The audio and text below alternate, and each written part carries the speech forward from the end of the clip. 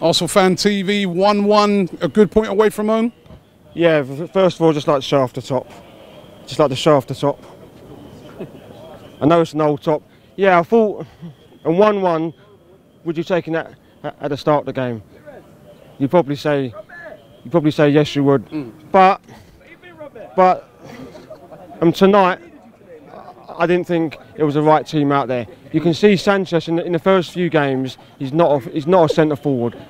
And when he moved back on the wing, he, he was playing well, he was moving forward, and he's and he scored his goal. He's, he, he's not an out and out centre forward. He's, he's, he's not the answer. And now with our striker not playing in the next game, uh, um, Giroud, I just hope it, doesn't play Sanchez again up front.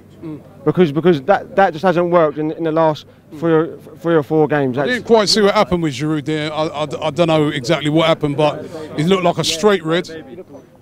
He's been sent off before in Europe. First game in Europe last year, he got sent off as well, didn't he?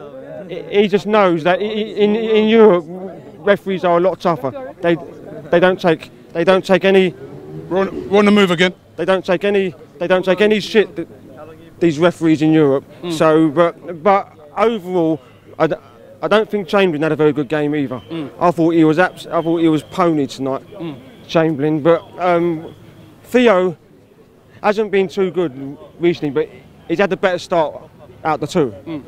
So listen, agree? now, do, do, do you think do you think we can top this group? I mean, a point away from home. If we can win our home games,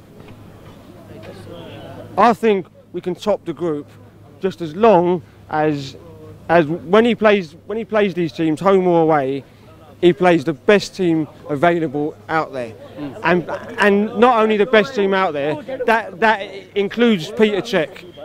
Even though Ospina was, was possibly man the match tonight, he was man the match. Oh, possibly, definitely, if you It ask was, me. it was definitely man the match. But what you have to do is you have to play your strongest team, and something that Wenger doesn't do, we need to start doing. Can he play the same team two, three, four, four games in a row, and then that might breed some consistency, and then we might have a chance of topping the group. Ospina, yes. Uh, Coquelin, why is he playing Coquelin? Why pay? Why pay all that money for Xhaka and then leave him on the bench?